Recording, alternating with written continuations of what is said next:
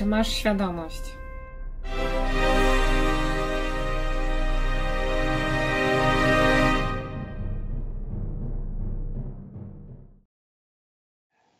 Globalny kapitał finansowy jest źródłem poważnych przestępstw nie tylko przeciwko mieniu, ale także przeciwko ludziom i środowisku. To przestępczość zorganizowana jest odpowiedzialna m.in. za nadmierne zadłużenie państw i grabież zasobów naturalnych naszej planety. Papież Franciszek.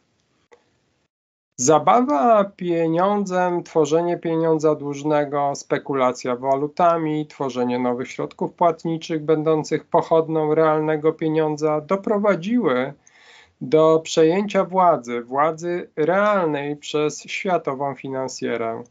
Dopuściliśmy do wyposażenia tej grupy w praktycznie nieograniczoną władzę. Środki płatnicze zgromadzone przez niewielką grupę ziemskiej populacji pozwoliły na stworzenie światowego systemu mafijnego, znacznie groźniejszego niż znane powszechnie potępiane organizacje gangsterskie. Mafia finansowa, działając w skali globalnej i dysponując praktycznie nieograniczonymi środkami finansowymi, wprowadziła powszechne niewolnictwo ekonomiczne. Izabela Litwin. Globalizacja nie ma nic wspólnego z wolnym handlem. Stawką w tej grze jest raczej władza i kontrola. Taka gra przekształca Ziemię w świat bez granic, rządzony przez dyktaturę najpotężniejszych światowych banków centralnych i komercyjnych oraz ponadnarodowych korporacji. Paula Helger, Heleger były wicepremier Kanady. Dzień dobry Państwu, z tej strony Rafał Górski. Kolejny odcinek podcastu Czy masz świadomość w ramach tygodnika spraw obywatelskich. Dzisiaj Państwa i moim gościem jest e, pani Iza Litwin, ekspert finansowy Fundacji Jesteśmy Zmianą, popularyzatorka wiedzy ekonomicznej i doradca podatkowy. Dzień dobry Pani Izo. Dzień dobry Panu, dzień dobry słuchaczom. Pani Iza, gdzieś w, w, w przepastnych e, przestrzeniach internetu e, znalazłem takie Pani słowa. Pieniądz z pożytecznego narzędzia zmieniliśmy w monstrum. Z wygodnego pośrednika wymiany uczyniliśmy narzędzie zniewalania ludzi i narodów. Trzeba pieniądzowi przywrócić rolę pośrednika wymiany i miernika wartości. Koniec cytatu. Proszę o wyjaśnienie Pani słów na przykładach z życia codziennego. No, nie jest to proste pytanie. Otóż pieniądz właściwie pełni cztery funkcje, prawda? Pośrednika wymiany to każdy rozumie. Miernika wartości to także jest zrozumiałe, ale także pełni funkcję tezauryzacyjną, to znaczy oszczędzamy w tym pieniądzu. I wreszcie czwarta funkcja to jest społeczny podział pracy. Wszystkie te funkcje. A co to znaczy społeczny podział pracy? Społeczny podział pracy polega na tym, że pan nie wykonuje wszystkich czynności, które życiowych czynności, tylko te czynności wykonują inni za pana. Pan specjalizuje się w jednej czynności, a inni wykonują inne prace i wzajemnie się tymi swoimi umiejętnościami i tymi e, e, naszymi rezultatami naszej pracy się wymieniamy. Dzięki temu Pan robi szybciej coś i ja robię też szybciej, prawda? I to wszystko wychodzi sprawniej. Społeczny podział pracy to znaczy, że wszyscy pracują dla wszystkich i wymieniają się tym, co potrafią robić najlepiej. Po prostu.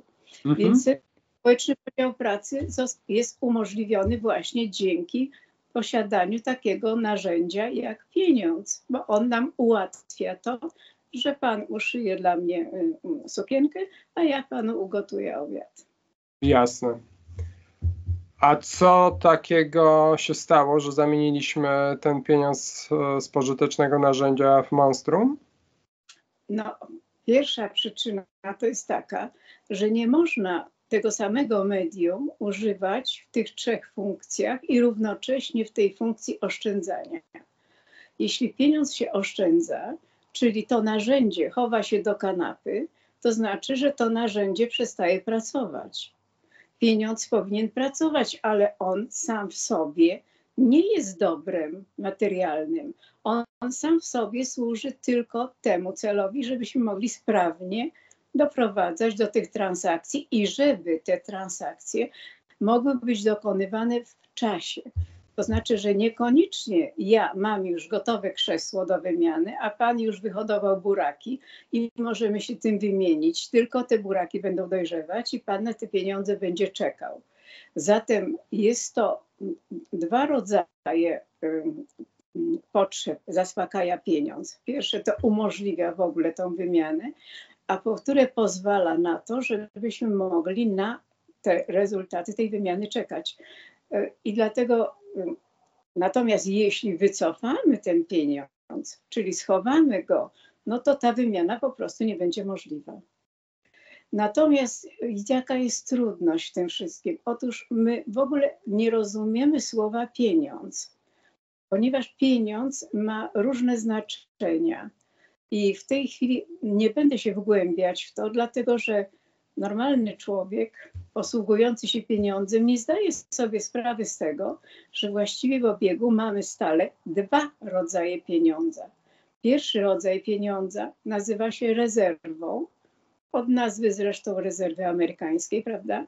To jest pieniądz emitowany przez banki centralne, a drugi rodzaj pieniądza to, jest ten pieniądz, z którego korzystamy na co dzień, to znaczy pieniądz wytwarzany przez banki. Wytwarzany przez banki. Bank po prostu ten pieniądz wytwarza tak, jak e, powiedzmy e, kowal e, robi podkowy, prawda? Tak samo bank jest producentem pieniądza. I my sobie z tego nie zdajemy sprawy, że bank pieniądz produkuje. Natomiast za to, za to wyprodukowanie tego pieniądza domaga się określonej zapłaty i uważa, że tą zapłatą jest odsetek. I ten odsetek powoduje te wszystkie nierówności i te wszystkie problemy, które w tej chwili mamy. To jest Ale użyła... oszustwo. Użyła Pani sformułowania bank centralny i bank. Czy to jest synonim, zamiennie? Bank komercyjny, bank, bank centralny to jest twórca i, i kreator pieniądza, rezerwy, czyli tego pieniądza jak gdyby prawdziwego, narodowego, i banki komercyjne, które ten pieniądz tworzą dla potrzeb wymiany tej powszechnej.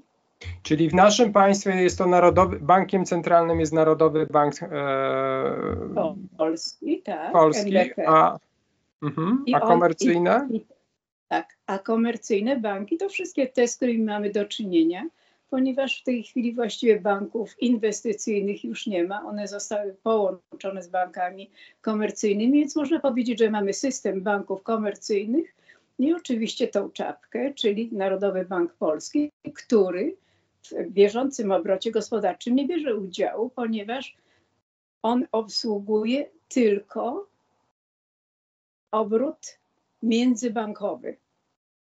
Obrót międzybankowy posługuje się rezerwą, czyli posługuje się złotym, ale złotym o charakterze rezerwy. Natomiast to, czym my się posługujemy, to my się posługujemy pieniądzem wytworzonym, wykreowanym przez banki. Za każdym razem, kiedy bank udziela nam kredytu, za każdym razem tworzy nowy pieniądz.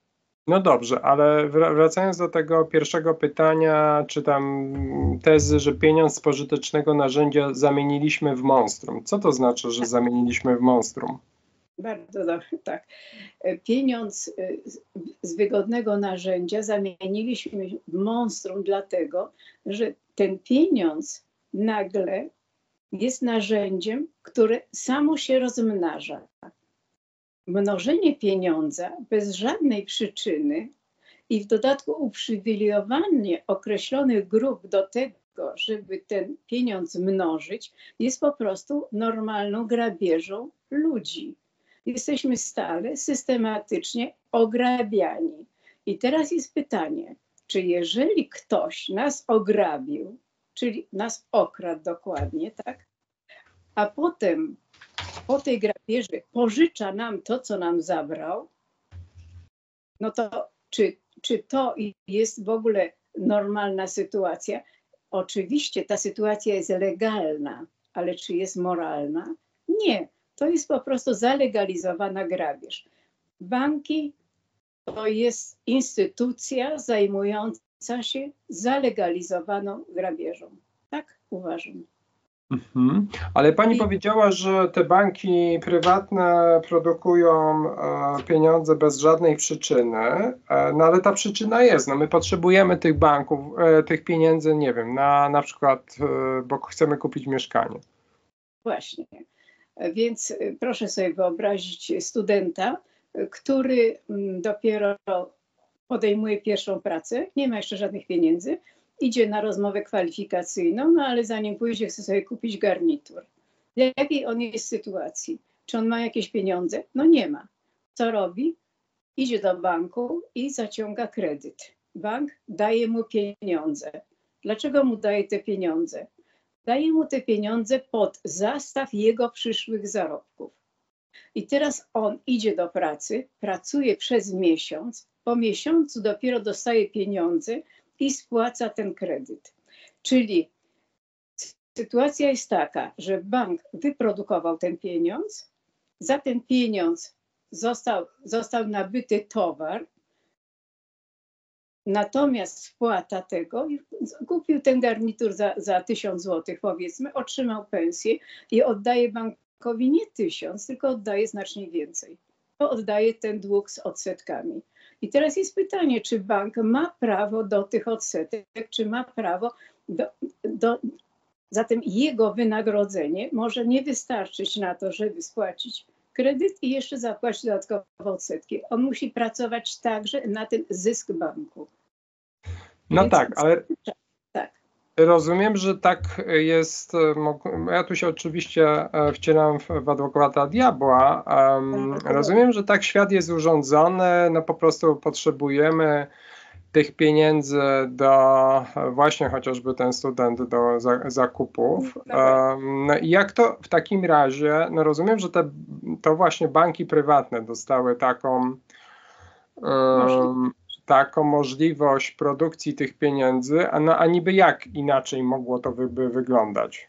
No, wie pan, jednak przyglądając się całej sytuacji, możemy powiedzieć tak, historycznie rzecz biorąc, było troszkę inaczej, dlatego że historycznie, kiedy pieniądz był monetą, monetą kruszcową, to nie było wymiany towaru na zaświadczenie, tylko była wymiana towaru za kruszec, czyli za inny towar.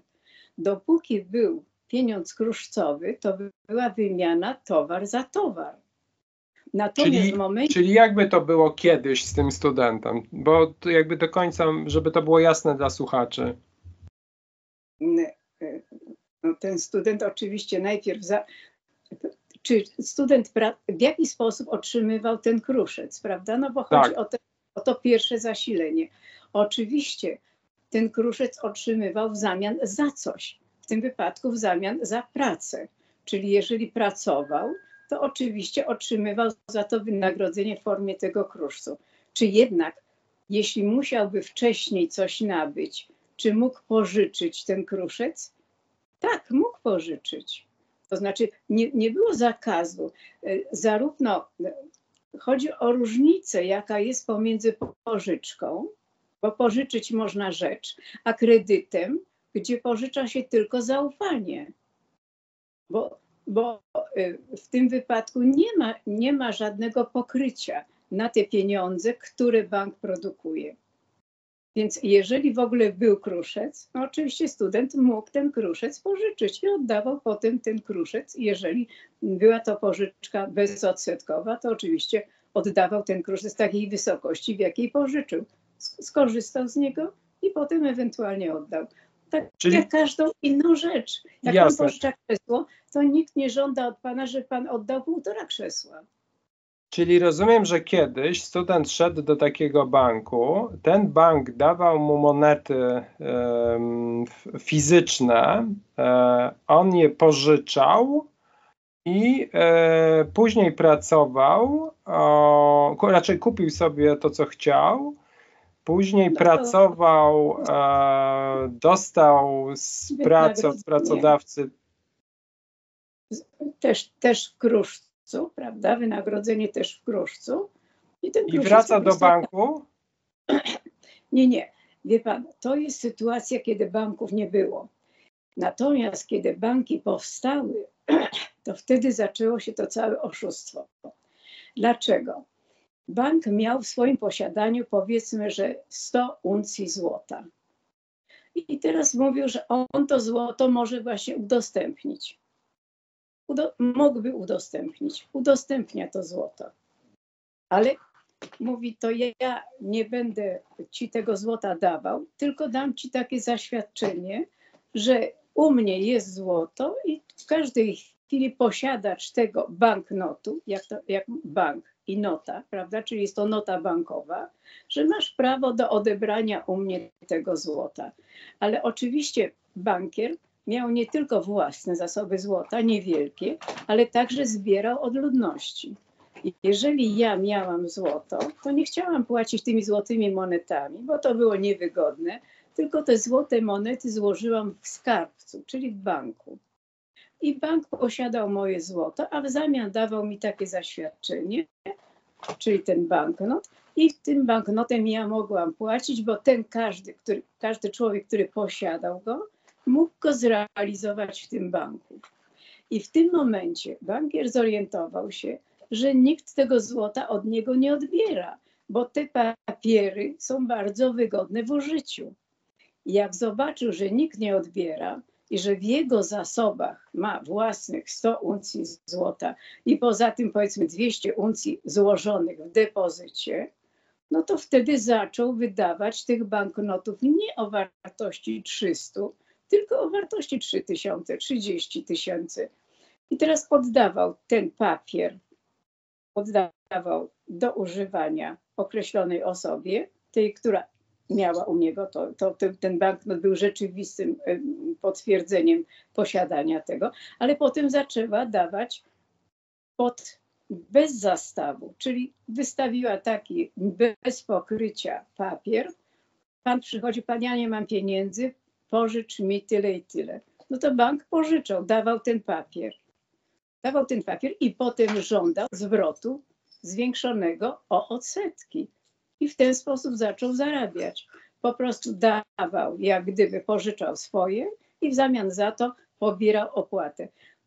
Żeby zrozumieć odsetek, to należy go rozumieć tak jak czynsz. Jeżeli ja dostaję z banku określoną kwotę, to ona nie jest moją własnością, ja tylko te pieniądze wydzierżawiam.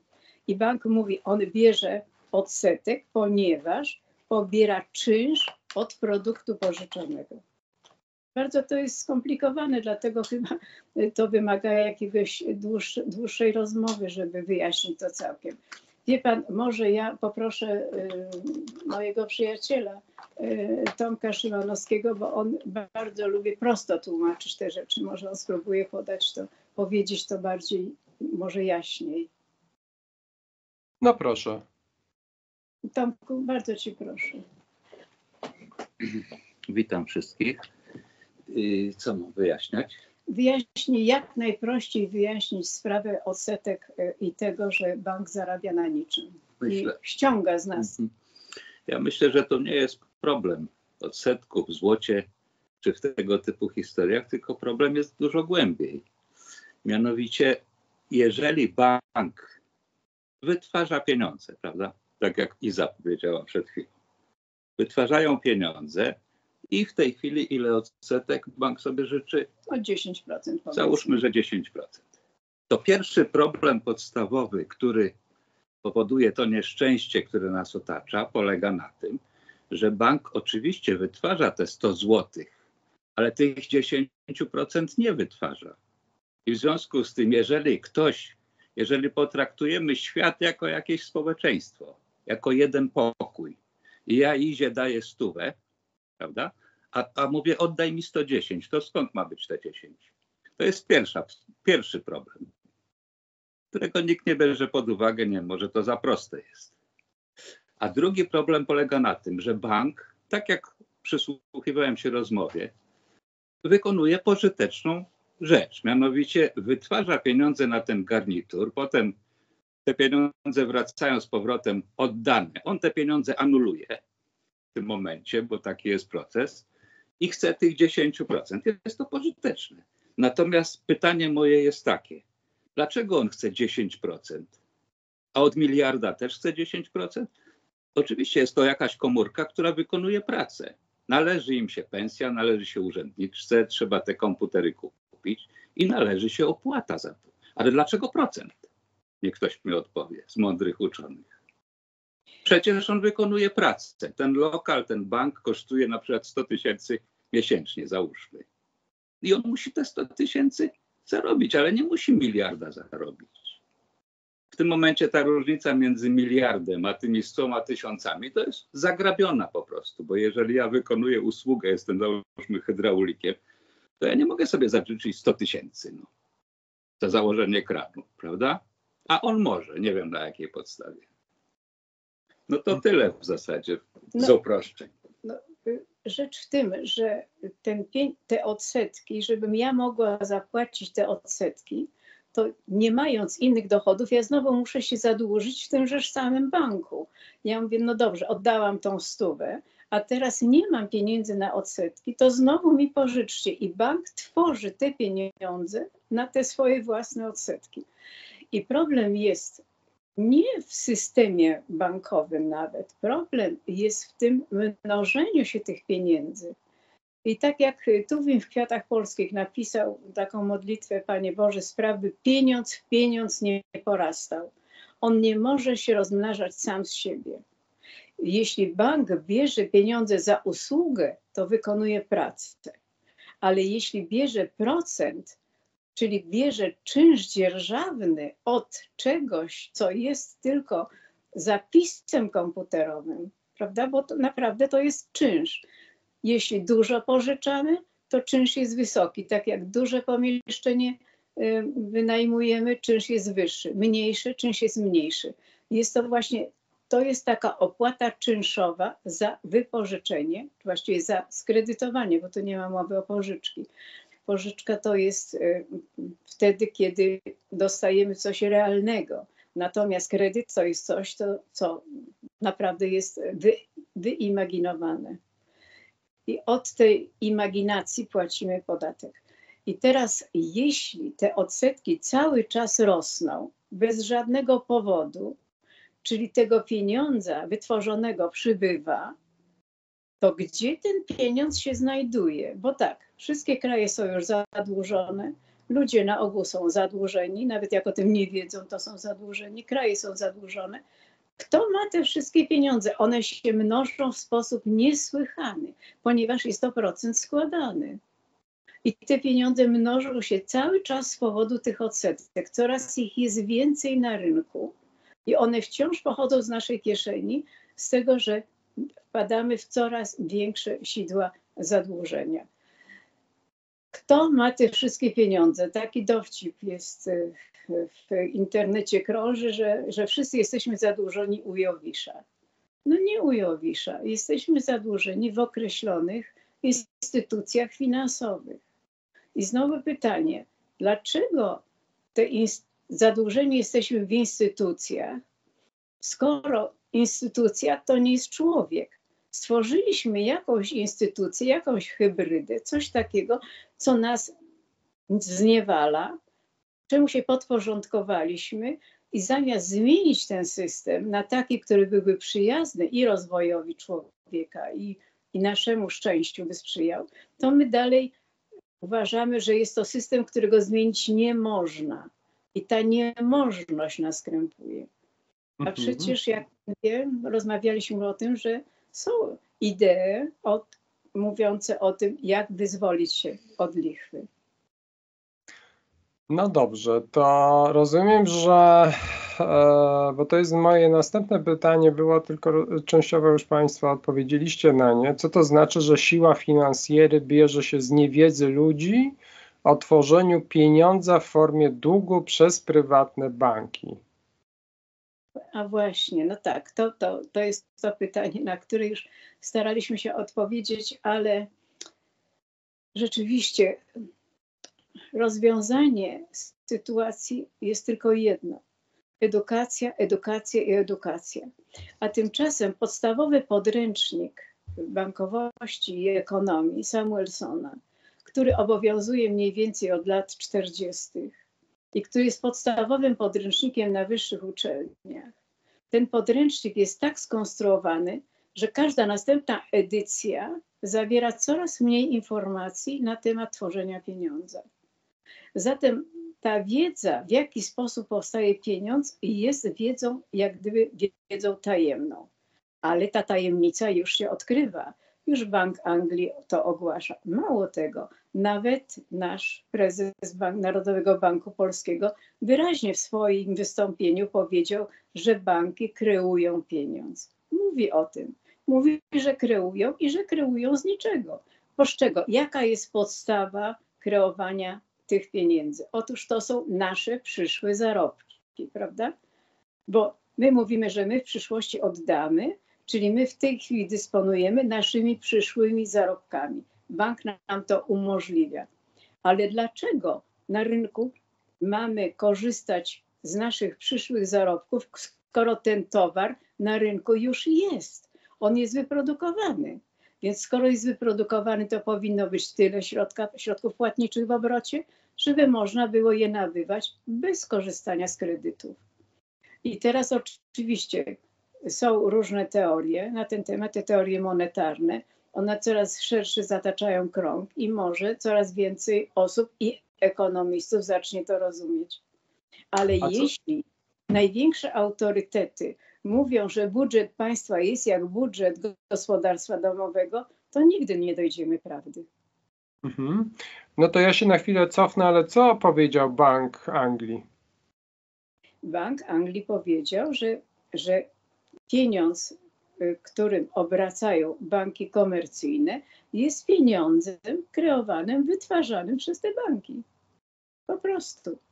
Że to jest taka prerogatywa y, tych banków, że one mogą te pieniądze tworzyć i puszczać w obieg. No i, i to jest ca cała filozofia. Jeśli bank ma rezerwy, czyli prawdziwych pieniędzy, ma 100, y, powiedzmy 100 jednostek, to może udzielić nam kredytu 28 razy wyższego od tego, co posiada. I on te pieniądze po prostu zapisuje i puszcza w obieg. A z czego się bierze 28 razy? To mm, rezerwa cząstkowa pierwotnie była 3,5%, czyli to znaczyło, że bank miał mieć, posiadać środki właściwe, czyli te rezerwowe, te, które które są Narodowego Banku Polskiego w wysokości 3,5% e, wszystkich tych środków, które ma w obrocie, czyli 3,5% leżało jak gdyby, można sobie wyobrazić, że leżało na koncie bankowym w NBP, i pod ten zastaw, jak gdyby bank mógł kreować 28 razy, no do 100%, czyli 28 razy więcej. Teraz w Polsce jest to 10 do 12%. Y, banki komercyjne mogą kreować tego pieniądza w stosunku do własnych zasobów. Y, więc to jest regulowane przez y, Komisję Nadzoru Finansowego. Ale, ale oczywiście w porywach, czyli w 2008 roku, banki amerykańskie ta, ten lewar, czyli to, to, ten mnożnik, e, to wynosił znacznie więcej, bo, bo 60 e, razy więcej niż posiadał mógł, mógł wykreować kredytów i przekazać im ludziom. No dobrze, ale rozumiem, że słyszymy też od, e, od ludzi związanych z systemem finansowym, bankowym, no, że to jest jedyna możliwość, żebyśmy funkcjonowali jako społeczeństwo. Jeżeli tak nie będzie się działo, jak się dzieje, no to wtedy wszystko, nasz świat się zawali. A jaka jest Pani wersja wydarzeń? To znaczy nie moja wersja wydarzeń, tylko wersja wydarzeń y, na, na, szczęście ludzi, którzy analizują te sprawy. Są wśród nich także naukowcy i powstają coraz nowe teorie, w jaki sposób można by zlikwidować właśnie przede wszystkim lichwę, czyli każdy rodzaj płaconego odsetka, a z drugiej strony zlikwidować y, tworzenie tego pieniądza, czyli kredytowanie, powstawanie tego kredytu przez prywatne, właściwie prywatne firmy, a więc przez prywatne osoby. Więc y, te teorie są, o nich się dyskutuje, tylko ich się nie wdraża, dlatego że każdy, kto dotknie pieniądza, no, może go spotkać krzywda, no, krótko mówiąc. To są zbyt duże interesy, żeby można było całkowicie bezpiecznie o tym mówić. Więc wszystkie te teorie są obśmiewane, nawet wtedy, kiedy, kiedy jest w tym e, dużo, jest nie tylko racja, jest po prostu przyszły dobrobyt ludzkości. Tak, zacznijmy może, ja nie wiem, czy Pan ma jakieś następne pytania, czy chciałby Pan posłuchać, czy Państwo... No ja myślę, że y, no właśnie jaka, bo ja już spytałem o to, to w takim razie jaka jest alternatywa? No, zacznijmy od tej, która y, jest najdawniejsza, która się przebiła. No to chodzi głównie o um, ideę kredytu społecznego stworzoną przez Majora Douglasa. Na czym polegał ten kredyt społeczny, to możemy krótko o tym powiedzieć. Ale to jest teoria, która właściwie troszeczkę już się zdezaktualizowała. Natomiast są nowsze teorie, jest nowoczesna teoria monetarna, też się o niej dużo mówi, dużo dyskutuje są także spojrzenia y, ekonomistów, nawet naszych, którzy mówią o pieniądzu w zupełnie innym duchu. Chodzi o to, że pieniądz tworzony jest dopiero wtedy, kiedy powstaje produkt. Wie pan, najpierw powstaje produkt, a potem dopiero powstaje pieniądz, za który ten produkt może być nabyty. A przecież ten pieniądz może powstawać wcześniej. Jeśli sobie wyobrazimy, że każdy z nas miałby określoną ilość pieniądza i mógłby nimi operować, no to wtedy nie musiałby się zadłużać. Zatem nawet już w literaturze istnieją pojęcia pieniądza ex post i ex ante. Teraz mamy pieniądz ex post, czyli po wytworzeniu dobra tworzony jest pieniądz, a ex ante to jest pieniądz, który dostajemy wcześniej Czyli to jest pieniądz w formie zaliczkowej. Dostajemy pieniądz, możemy się nim posłużyć. Ja może dam taki przykład y, dzieci, które sobie zorganizują na przykład wymianę rzeczy, które im się znudziły albo zbędnych. Nauczycielka na lekcji wychowawczej mówi: przynieście te rzeczy do szkoły i będziemy się tymi rzeczami wymieniać. Ale żeby do tej wymiany doszło, to każde dziecko dostaje 100 żetonów na początek.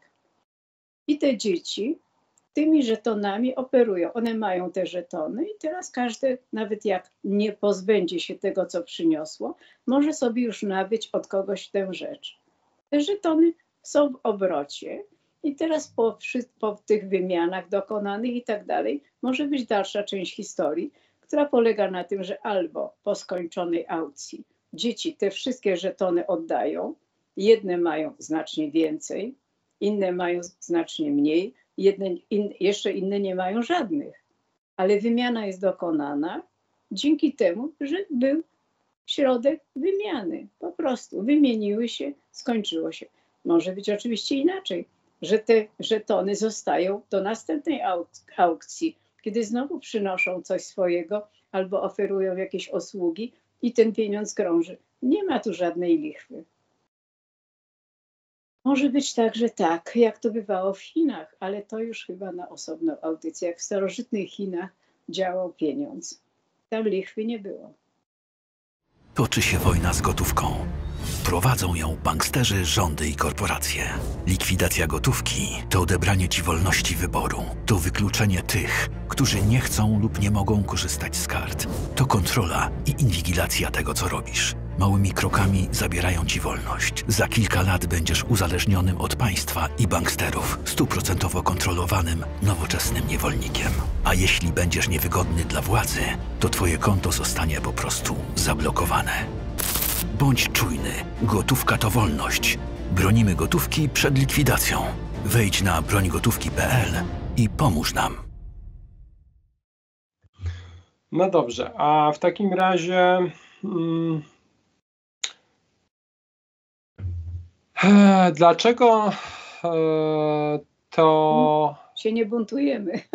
Dlaczego e, ten, ten nowy sposób, ta alternatywa nie, no nie, nie funkcjonuje, nie działa? Te teorie, rozumiem, przez wieki są e, kształtowane, dyskutowane i tak dalej, tak. ale jesteśmy w tym miejscu, w który na, na co dzień doświadczamy i o którym mówiliśmy na początku naszej rozmowy. Są dwie przyczyny. Pierwsza przyczyna to jest oczywiście brak zrozumienia, czyli brak edukacji. I tutaj masz, mamy bardzo dobre rozwiązanie, uważam absolutnie genialne, czyli właśnie w ramach y, idei kredytu społecznego została stworzona przez y, y, Iwena, Luisa Iwena historyjka, bardzo zresztą zabawna. Nazywa się Wyspa Rozbitków. I ta Wyspa Rozbitków jest to podany system bankowy i działanie systemu bankowego, wymiany towarowej w taki sposób, który jest po pierwsze zrozumiały, po drugie zabawny. I to jest historyjka, którą zrozumie nawet dziecko w czwartej klasie. Dziesięcioletnie dziecko z całą pewnością zrozumie tę bajeczkę. Ona wyraźnie pokazuje, na czym polega lichwa i w jaki sposób można grabić legalnie, bo możemy na to wyrazić zgodę, bo tak wyrażamy, legalnie wszystkich innych uczestników rynku. Więc jeśli ktoś byłby zainteresowany zrozumieniem systemu finansowego, to naprawdę wystarczy zapoznać się tylko z tą bajeczką. Wyspa rozbitków. Wpisać Wyspa rozbitków w internet i z całą pewnością cała historia będzie tam pokazana. Ona jest napisana i z rysunkami i tak dalej. Bardzo to jest krótka, bardzo dobrze napisana historyjka.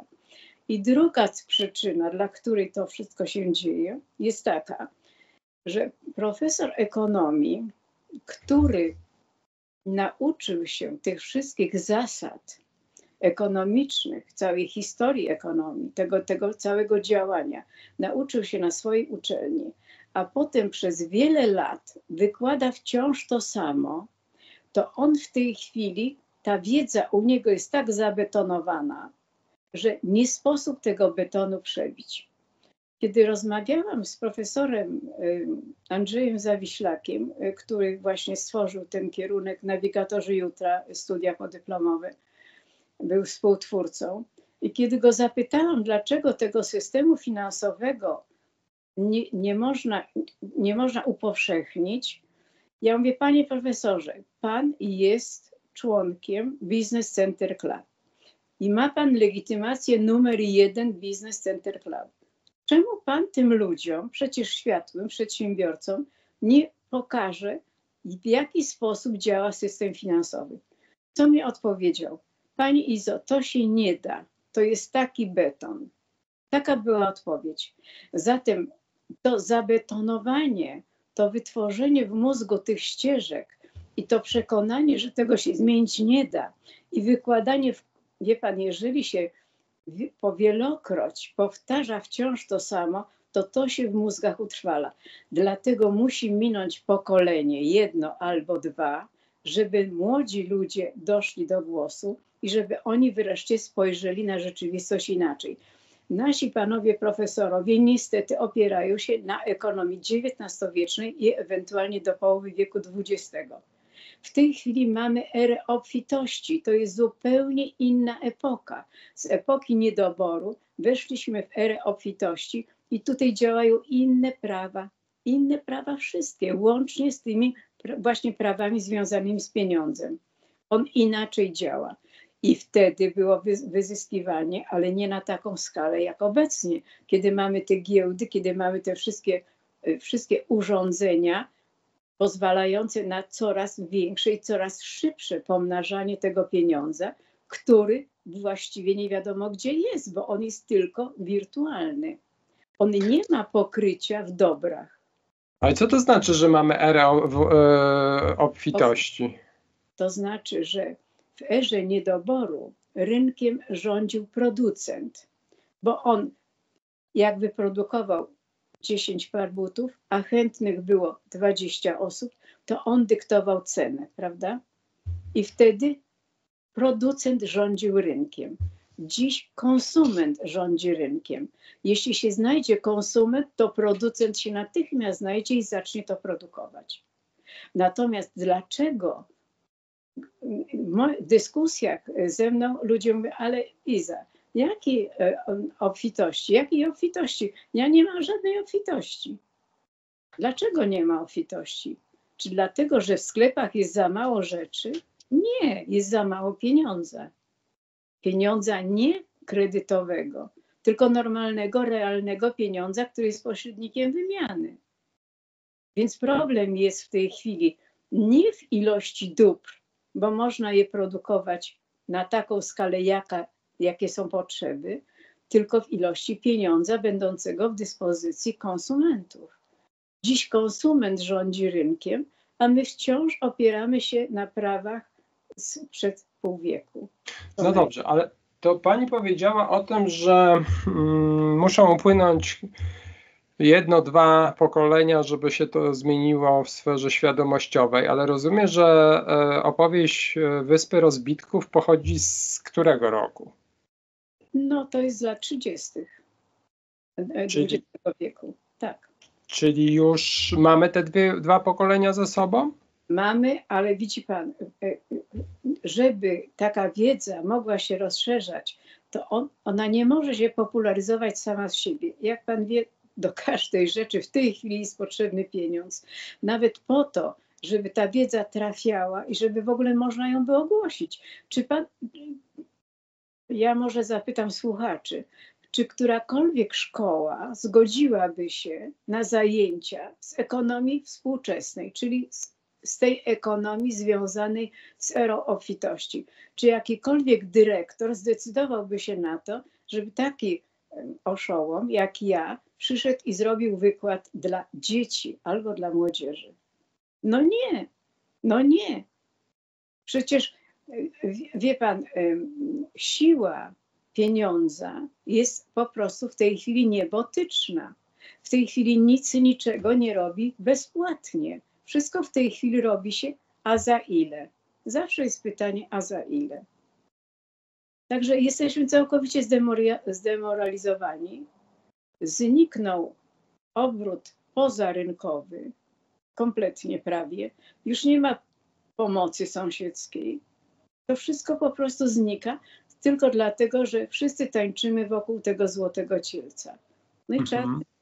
taniec przerwać. Natomiast są idee, są teorie, i są sprawdzone. Nawet można powiedzieć, że teoria Douglasa, czyli kredytu społecznego, została w praktyce sprawdzona w Japonii przed II wojną światową i sukces był wspaniały.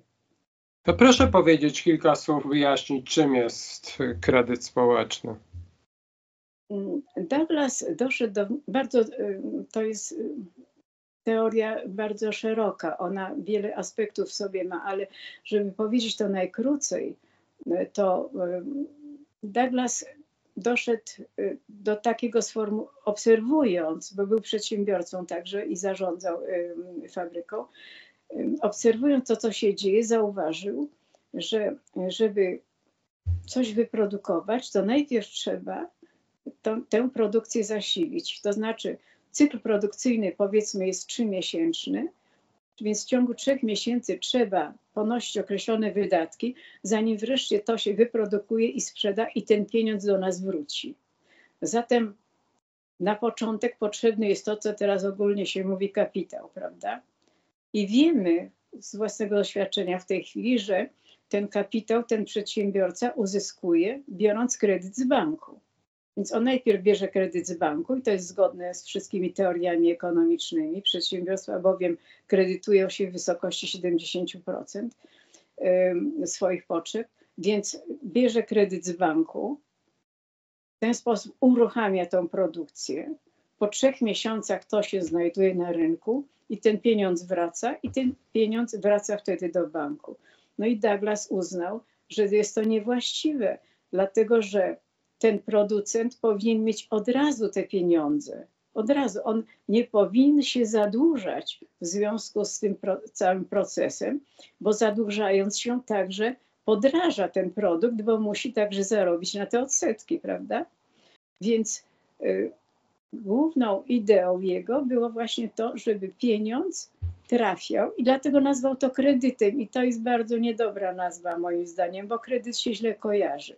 Ale chodziło mu o to, żeby przedsiębiorca mógł korzystać z bezodsetkowego pieniądza, zanim przystąpi do produkcji.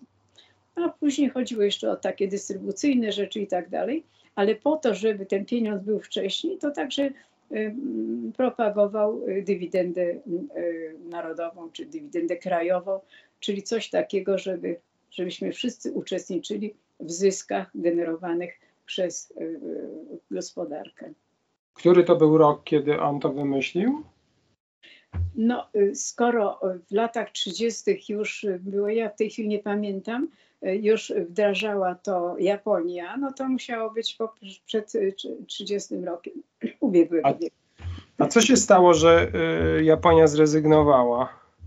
Japonia nie zrezygnowała, tylko Stany Zjednoczone zmusiły Japonię do wojny, właśnie z tego powodu między innymi. Ponieważ nagle, tak, nagle tam się pojawił taki rozwój gospodarczy, nieprawdopodobny, boom gospodarczy, Zresztą Japonia ma w tym swoje y, zasługi i obecnie, prawda, bo w dalszym ciągu nie zadłuża się zewnętrznie, tylko u własnych obywateli. Więc y, też jest w dużo lepszej sytuacji. Tam przecież nie ma inflacji, tam jest tylko deflacja, czyli spadek cen. Tam wyraźnie widać, że produkowanie poszczególnych rzeczy coraz mniej kosztuje. A u nas tego nie za bardzo, nie, nie za bardzo to jest widoczne. Czyli w jakich latach e, wdrażała Japonia kredyt społeczny? Wie pan, w tej chwili nie pamiętam, ale to było od lat 30. do, do, od lat 30. do 45 roku, kilkanaście lat, chyba, chyba ze 12 lat. I tam wtedy ten e, PKB bardzo gwałtownie rósł. Więc, więc jest to, rzeczywiście to jest może materiał na osobną audycję, żeby dokładniej prześledzić to. W materiałach Szczęsnego Górskiego, który bardzo dużo pisze o tym kredycie społecznym. W jego materiałach są też y, te artykuły poświęcone rozwojowi Japonii. Mhm. No dobrze, to. Mm... Więc jest to coś, co jest sprawdzone. Natomiast wie pan, mnie się zdaje, wiecie Państwo, mnie się zdaje, mnie się zdaje że jest coś ważniejszego. Mianowicie y, y, teoria Douglasa nieco się zestarzała, dlatego że po prostu była ona w innych warunkach tworzona, nie w warunkach ery obfitości, tylko w warunkach jeszcze ery niedoboru. Natomiast y, my powinniśmy raczej skupić się bardziej na nowoczesnej teorii monetarnej, która ma więcej elementów współczesności no i, i, i o tym myśleć, żeby tak ten pieniądz działał.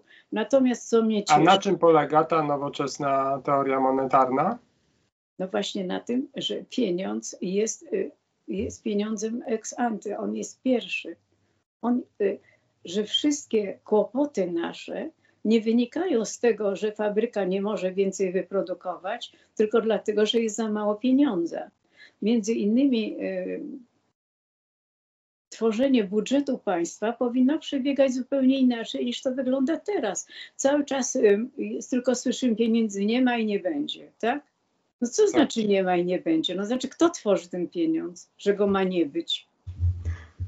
No nie... właśnie, no bo rozumiem, że tworzy Narodowy Bank Polski. To dlaczego nie... Nie, nie, nie, nie, nie. Narodowy Bank Polski nie może tworzyć pieniądza, który wchodzi do obiegu bezpośrednio.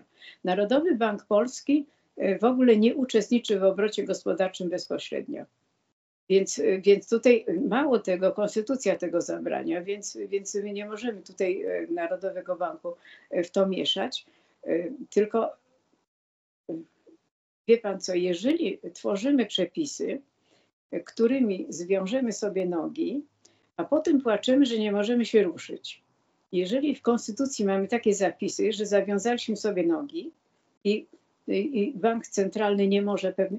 Co jest napisane w Konstytucji? Że bank centralny nie może finansować deficytu budżetowego. Czyli bank centralny nie może wytworzyć pieniądza, żeby dać rządowi. Natomiast oczywiście zrobił to, tylko zrobił to drogą pośrednią, bardzo sprytną, za co bardzo chwalę w ogóle um, okres go, y, pandemii rzekomej, prawda? Bo bo ona pokazała, że można wyjść obronną ręką z takiej sytuacji. Więc... Czyli, jak, czyli co zrobił? Proszę wytłumaczyć słuchaczom, bo myślę, że większość nie wie o co chodzi. No właśnie, właśnie nie wiem, czy w ogóle powinnam o tym mówić. Mianowicie tworzy się fundusze, prawda?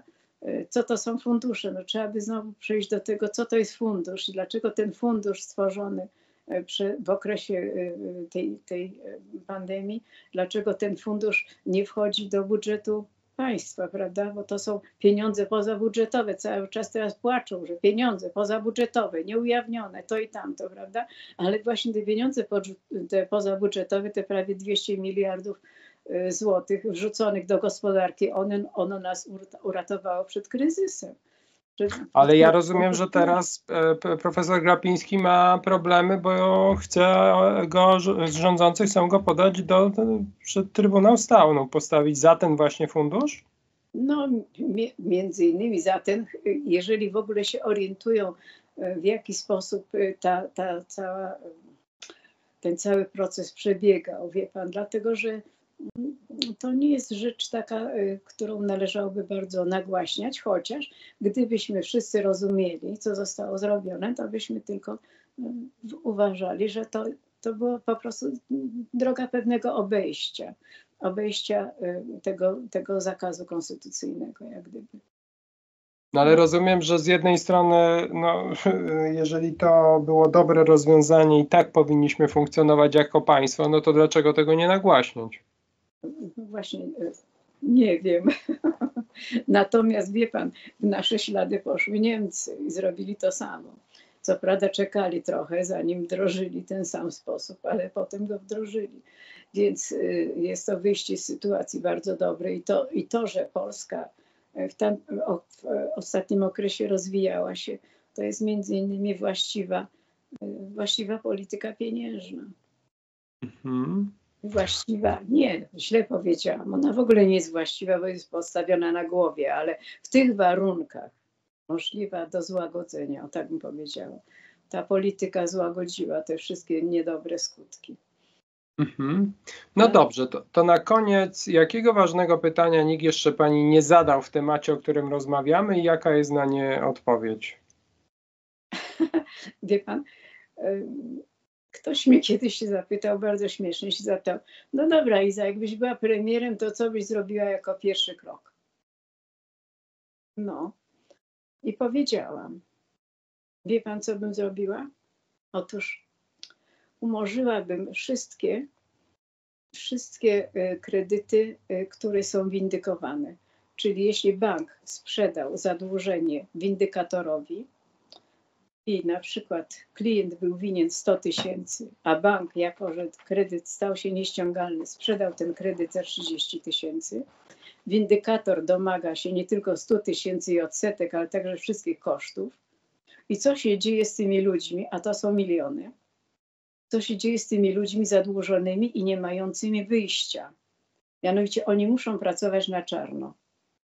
I teraz za, trzeba te kredyty umorzyć, albo jeśli nie umorzyć, to doprowadzić do tego, żeby dłużnik spłacał tylko kapitał, tylko kwotę, którą rzeczywiście pożyczył i spłacał w takich warunkach i według takiego harmonogramu, który jest dla niego korzystny.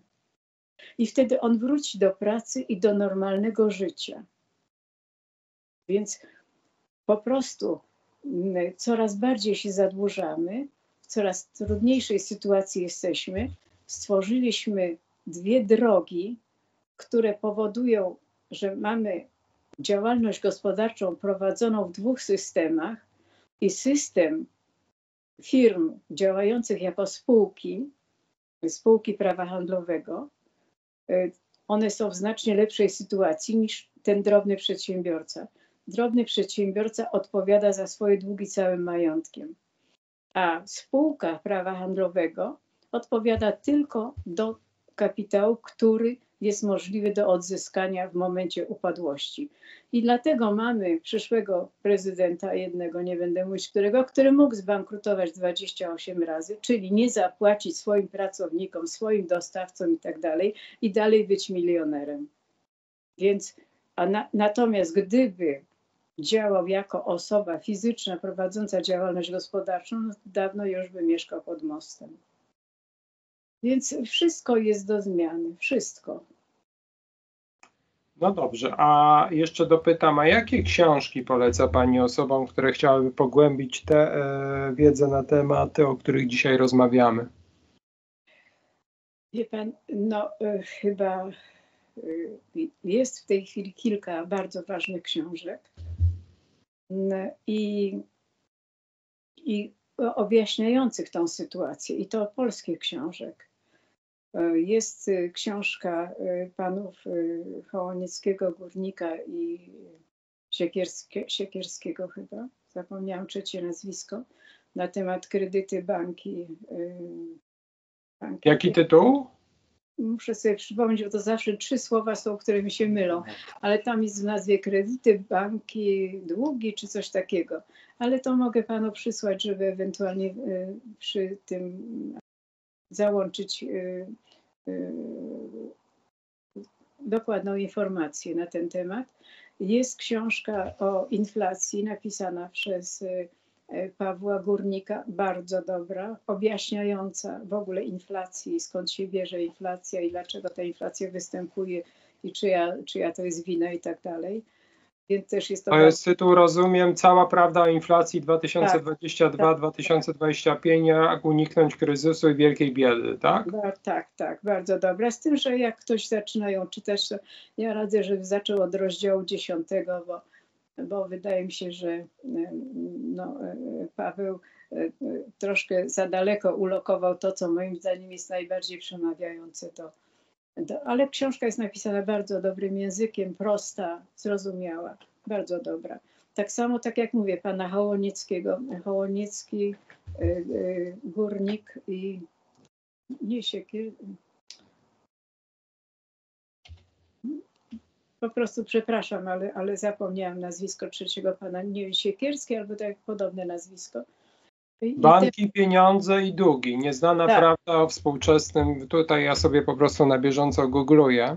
Bardzo Nieznana dobrze. prawda o współczesnym systemie finansowym. Jacek tak. Hołoniewski, Paweł Górnik i inni, tak? Nie, nie, jeszcze Ma... trzeci pan jest nazwisko. I Mateusz Siekierski. Tak, i Mateusz Siekierski, czyli dobrze nazwisko pamiętałam.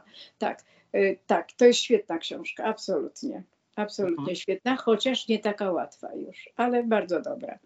Poza tym no, polecam y, y, y, ostatnio wydaną książkę przez autorstwa Szczęsnego Zygmunta Górskiego, który jest propagatorem właśnie kredytu społecznego. I tam też bardzo są ciekawe te eseje i te materiały. Warto też przeczytać. Ona jest dość, dość taka obszerna. Chodzi o tytuł Wokół doktryny kredytu społecznego. Tak jest, tak, także bardzo polecam.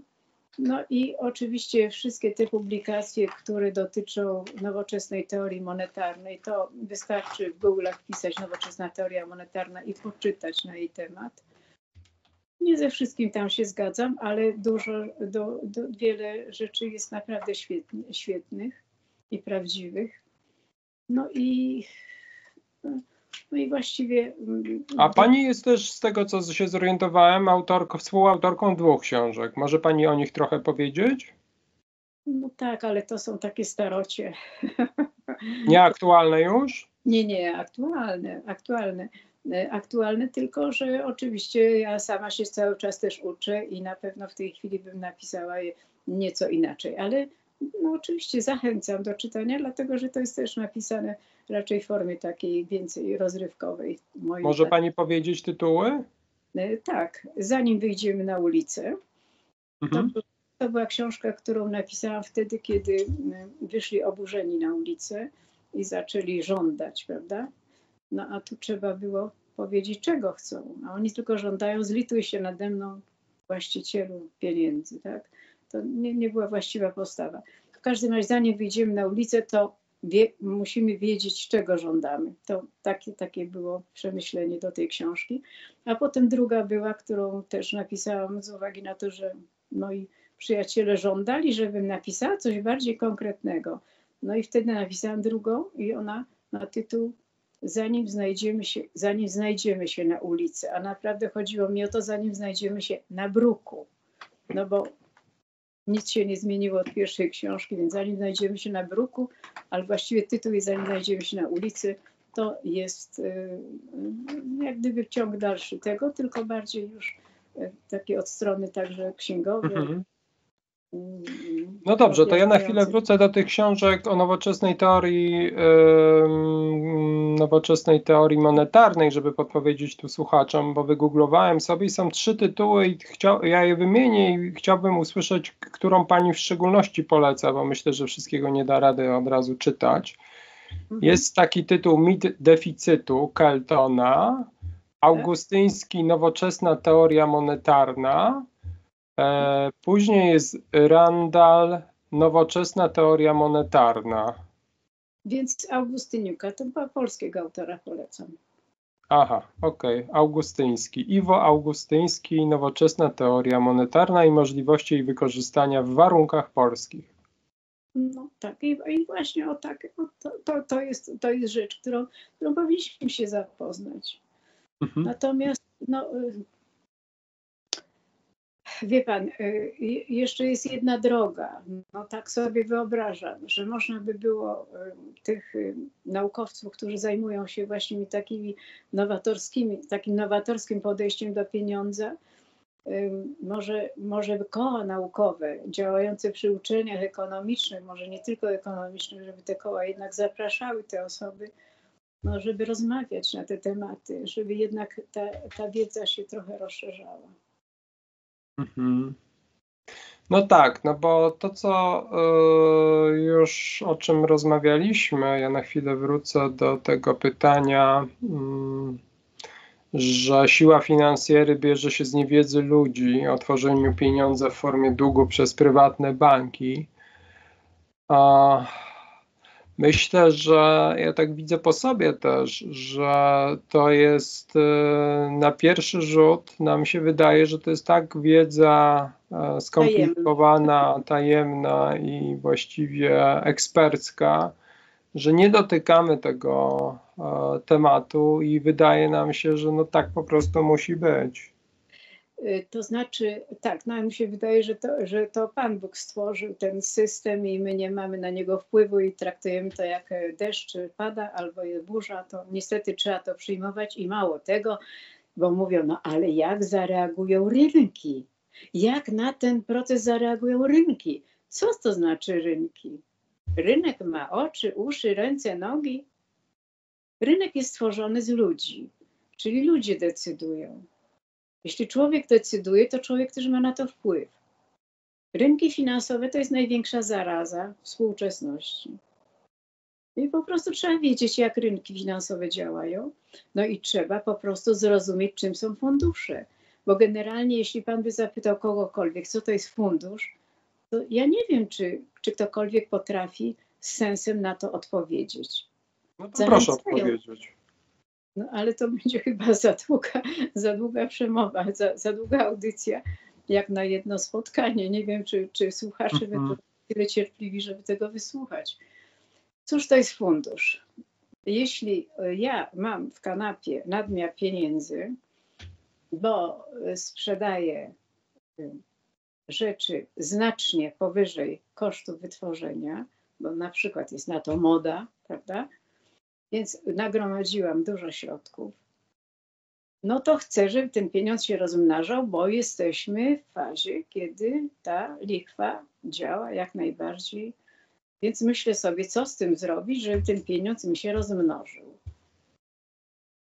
Zatem osoba, która się na tym zna, tworzy spółkę prawa handlowego, bo fundusz to jest spółka spółka, która zarządza. Czym zarządza? Zarządza cudzymi pieniędzmi. Czyli, no jak tak wszyscy wiedzą, BlackRock, tak? BlackRock jest to po prostu zarząd. Czy mają własne pieniądze? No teraz już mają, ale na początku mogli mieć naprawdę niewiele.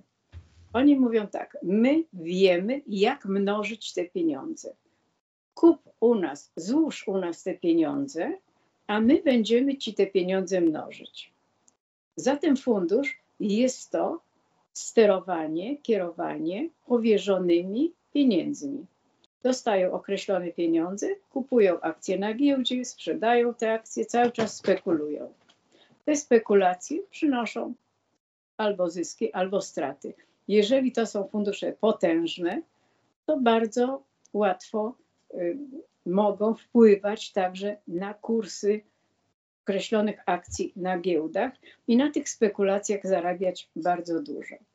Więc fundusz, zatem ca, cała spółka, cała spółka, czyli cały fundusz jako taki, ten zarząd, on może zbankrutować. Natomiast te pieniądze, którymi zarządza, nie są jego. To są pieniądze ludzkie. I teraz w zależności od tego wpłaciłam powiedzmy 1000 złotych, e, wpłaciłam i nabyłam powiedzmy, że, że jeden udział kosztował w tym czasie 100 złotych, czyli kupiłam 10 udziałów za taką kwotę.